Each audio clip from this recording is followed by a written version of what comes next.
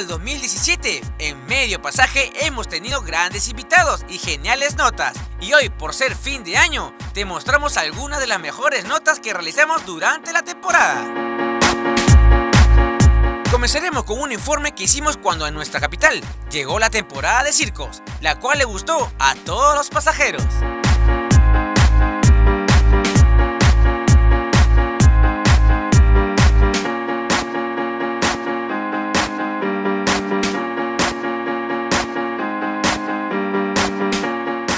También hicimos un programa donde juntamos a los antiguos conductores con los nuevos.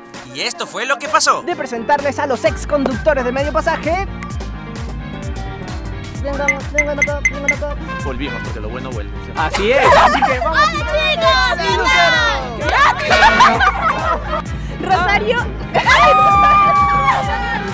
De moda, donde nuestra amiga Flor salió y nos mostró que la moda no incomoda.